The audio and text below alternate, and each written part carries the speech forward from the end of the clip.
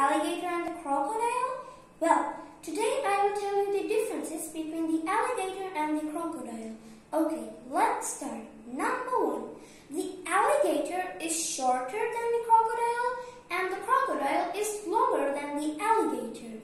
Number two, the alligator has a U-shaped mouth and the crocodile has the V-shaped mouth.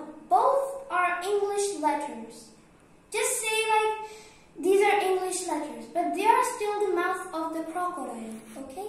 Number three, the crocodile and the alligator have different color.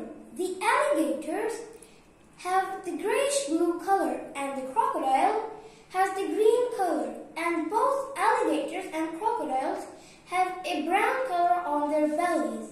Okay, number four.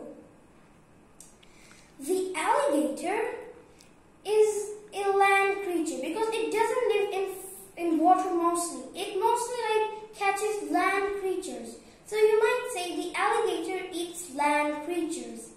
And the crocodile eats sea creatures like sharks, whales, oh not whales, fishes or dolphins. Okay? Number five. The alligator mostly runs faster than the crocodile and the crocodile swims faster than the alligator. Okay, number six. Do you know where the alligators and crocodiles live?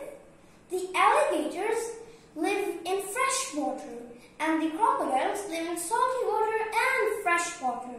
Some in salty water and some in fresh water. Okay. Oh, I forgot something. Number seven. The color of the alligator and the crocodile are different. Why, the alligator has the grayish blue color and the crocodile has the green color. Okay, that is all for today. Just click on Araiz Yawer and you'll find more interesting videos. Okay, that is all for today. Bye bye. See ya. I'll see you. I'll see you some